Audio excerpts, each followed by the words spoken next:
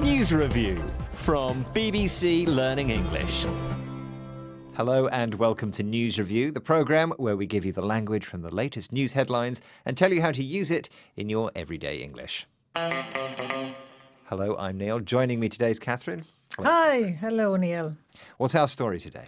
Today's story, Neil, is about a zebra and the mystery of its stripes. Okay, let's find out more about the mystery of the zebra's stripes from this BBC interview.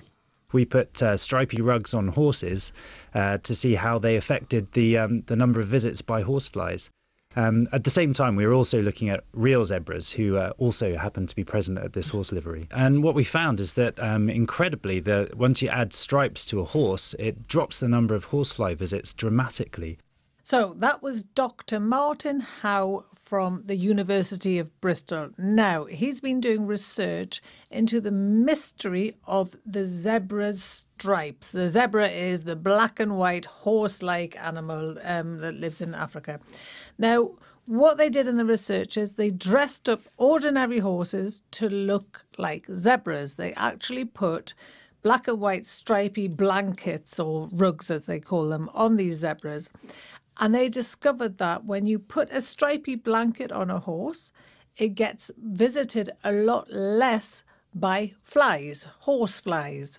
So um, they thought, well, this must be why zebras are stripy because a stripy animal is less attractive to flies than a non stripy animal. What a fascinating story. I might start wearing a zebra coat. I think everybody myself should. in the summer. Okay, you've been looking at this story and you've picked out three words and expressions. What are they? Uh, we have evade, to deter, and earning their stripes.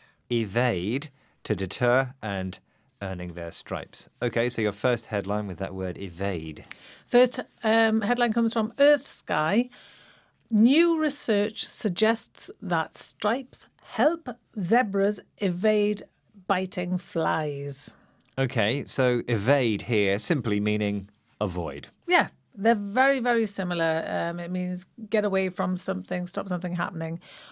Often interchangeable, but there is a difference. Yes, and it's to do with responsibility and obligation, isn't it? Yes, talking of responsibility and obligation, Neil, do you pay tax at all? Do I pay tax? What kind of a question is that? Of course I pay tax. I'm I'm a member of the BBC staff. Okay, so you're not avoiding or evading your responsibilities. Um, what would you do if you wanted to avoid paying tax? Well, I suppose I could move to a country that didn't have tax or had very low tax. Or stop working? Stop working, yeah. You don't earn any Yeah. money, no money, no tax? Or I could come up with ways not to pay. Neil, Hmm. you, I, I hope you're not talking illegal. yes, I'm afraid so.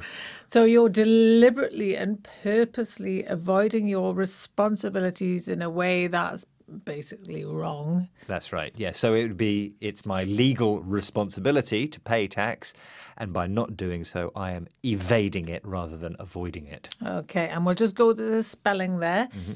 Evade, E V A D E, and avoid, A V O I D. Now, if you evade tax, you may be charged with the crime of Tax evasion. evasion. Yes, and we, we don't want that, do we? We don't.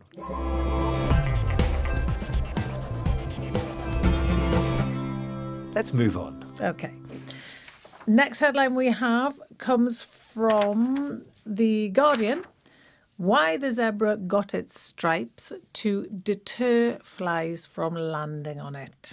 To deter, to do something in order to change the actions of something. Yes. So in this case, um, the stripy coat deters flies. It means it stops the flies from landing on it.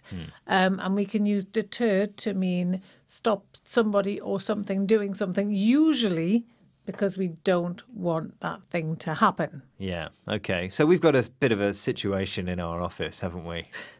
Uh, the continuing biscuit thievery scenario, yes. When will it end? A- certain member of the team we won't name him this helps time. himself to the biscuits. Uh, but often I try to deter him. I think everyone tries to deter him. We've got a number of methods. Yeah. Some more successful than others. Yeah, the electric fence was very, That was really good. really a very effective deterrent. It was a deterrent. Yes, it was. Yes. Yeah. Um, it stopped this person for a while Mm-hmm. until he discovered how to avoid or get around this electric fence. But it was the best one yet. The best deterrent so far. Yeah.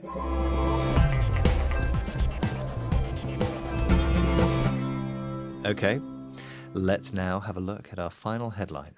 Okay, Horse and Hound. The headline is Earning Their Stripes. Zebras' coats deter horseflies, study finds.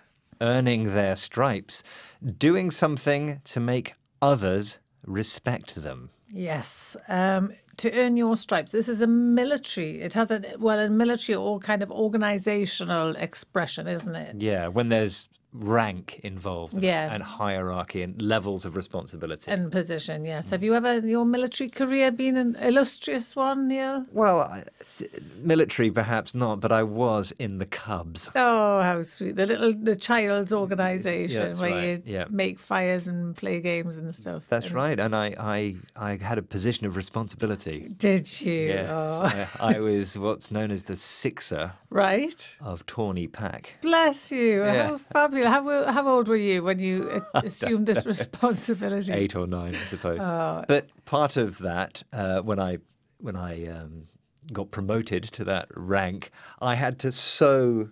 Well, my mother had to sew stripes on my uh, on my sleeve. On your uniform, So you I- had some stripes. That's right. So I earned my stripes, literally earned my stripes.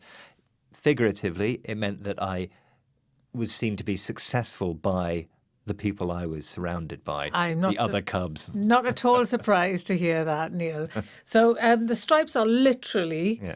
um, a mark, some something on your sleeve that shows you're you're responsible. And we see this in the army in particular Mm. as an example. The sergeant is responsible. He has he or she will have three stripes. That's right. Um, so different so different stripes Show different levels of responsibility. So um, the zebra didn't earn any stripes. There's no stripes on the zebra's sleeves. Absolutely not. But uh, the headline writers couldn't resist using this expression because obviously zebras are stripy. They are. So if you earn your stripes, you show that you've got, um, you, you earn respect from other people. When you have somebody new in your office. Yeah. you don't know how good they are at their job.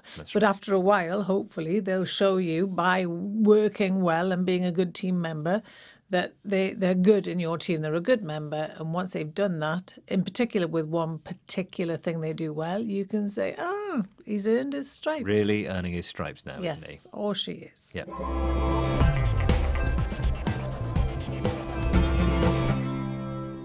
And now it's time for our vocabulary recap, please. we have evade, which means avoid, to deter, to do something in order to change the actions of something, and earning their stripes, doing something to make others respect them.